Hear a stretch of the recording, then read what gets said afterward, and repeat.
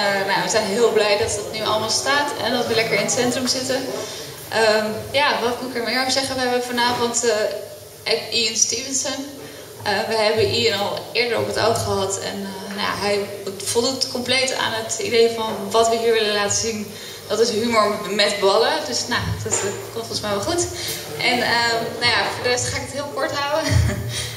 En we hebben hier Boef en de geloteerde aap. En die gaan voor ons hun ding doen.